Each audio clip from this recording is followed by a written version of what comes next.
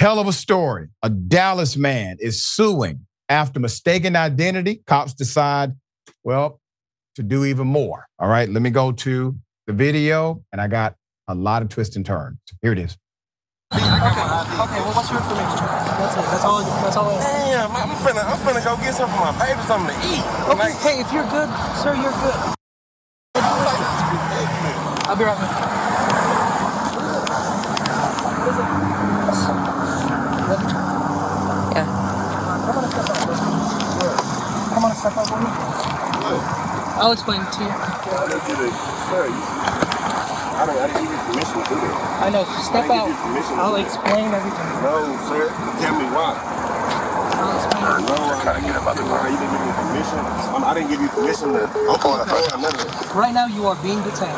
Come on and step out. You're gonna get tased. Come on and step out. You pulling out a tape? Come on and step out, bro. Come on and step out. Come on and step out. Come on and step out. Bro, Step what, out. what are y'all? Man, hold on, hold on, bro. Come on step out. Man, come on, man. Come on step out. Come on Bro, step what are y'all? Come on step y'all pulling on me for what? Come on out. Hold on, hold on. Y'all, I didn't give y'all permission. to do that. I didn't give y'all permission. Bro, that's my phone, bro. Hold on. Bro, hold on. Hey, bro, come get Bro, bro, bro, this is my gun. Bro, what the? Bro, bro.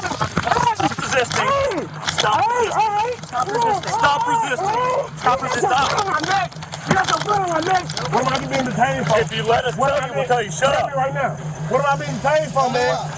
Help! Stop. Help! Help! Help! They hurting me. Stop. They hurting me. It was the wrong man. He believed there was something foul happened. He's been arrested and not told why. They taser him. He's confused. He's mad. He's upset. And now he's just yelling, help, help. Put up the picture.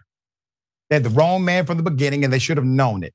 According to a lawsuit filed in federal court, 27 year old Silvester Hayes, a former security officer and a single father who lives and works in Dallas, is suing the city, alleging excessive force during his October 16th arrest after a case of mistaken identity. Put up the picture of what I call despair.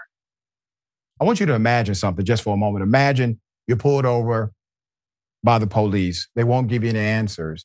They open your door, proceed to arrest you, tell you, "Oh no, no, no, it's okay. We're just we're just doing this. We're just detaining you," and refuse to provide information beyond that. I can tell you, as a black male, that would be terrifying to me. The lawsuit claims Dallas police did not use any methods to verify his identity, and because he had a similar name to another man, well, that was enough for the officers to decide to pull Mr. Hayes from his vehicle, arrest him, and process. In the process, beat him, kick him, put knees on his skull, his neck, his back, and use tasers on him. Mr. Hayes has no previous convictions or arrest. He's suing the city. Council member, city manager, police chief, two individual officers, and the police department as a whole, claiming that policies created by the city or the lack of policies created or enforced led to the two officers using excessive force and causing him continued mental and physical anguish. According to the lawsuit, he suffers from post traumatic stress disorder and faces pain and mobility issues from a shoulder dislocated by officers. He's also lost his job as a security officer after spending multiple days in jail, unable to come to work. Hayes also lost his home and his ability to, to provide for his four young children. He's a single father. He was set to face two charges for crimes unrelated to the reason he was arrested. Both of those charges have been dropped. Let me give you details on the arrest. So Hayes was out on the morning of October 16th, 2021. He was going to get breakfast for his children. He was pulled over by the Dallas Police Department. He can be heard telling the police sergeant after the arrest that the stop was initiated because he did not come to a complete stop at a traffic light. In the lawsuit, Hayes alleges he was pulled over as a result of racial profiling instead. When he was stopped, Hayes provided police with his ID, informed them he had a legally owned handgun in the vehicle, The body cam footage provided to the Star Telegram does not include any video or audio of Hayes informing officers of a gun. During the stop, one officer recognized Hayes, name and thought, not Hayes, but his name and thought he was wanted. Just, oh, you know, I think that guy's wanted on charges of uh, family violence. Okay.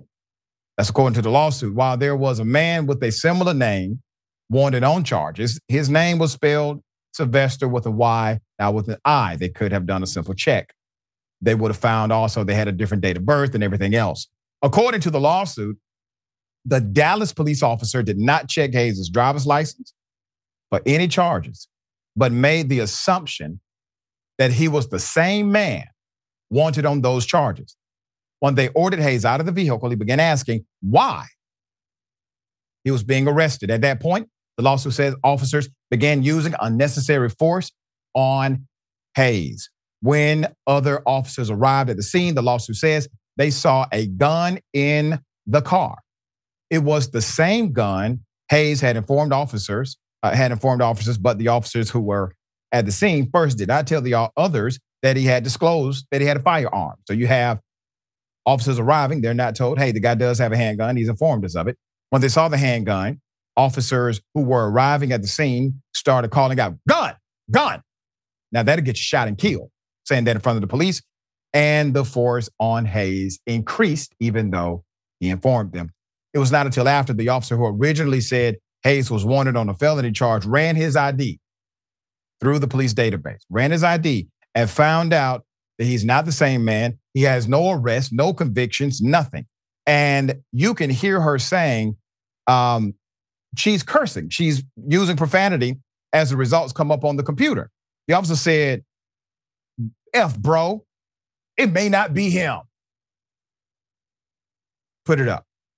So after Hayes was placed in a patrol car, officers retrieved his handgun and can be heard uh, saying, Hayes, uh, he, he kept reaching for the handgun, though. He kept reaching for his gun. Yeah. The sergeant on the scene would apologize to Hayes. Quote, if you felt like they roughed you up or whatever, I do apologize. But anytime that there is a gun involved in a traffic stop, you know. The sergeant informed Hayes he ran the gun and it came back clean, despite Hayes telling them it was already lawfully owned. Hayes then tells the sergeant that he believes he was treated the way he was treated during the arrest because of the color of his skin, the way he looks. The sergeant tells him that has nothing to do with it. Officers began looking for anything they could use to file charges against Hayes after realizing they arrested the wrong man. That's according to the lawsuit. Let's put it up. They're plotting. In the body cam footage, after officers gave the sergeant their side of the story, he asked if they had a, a good warrant to arrest Hayes. Well, he does have speeding tickets, the officers tell him, but they didn't know about them until they ran his name through the police database. So the three kept brainstorming. In the end, they determined they charge him with resisting arrest and unlawful possession of a firearm. Those charges were absolutely dropped, but they weren't dropped until 14 months later. And the lawsuit state Hayes was in lawful possession of the firearm. Also, during the conversation, one officer said Hayes had no injuries, but the lawsuit claims Hayes sustained at least one lasting injury. They dislocated the man's shoulder.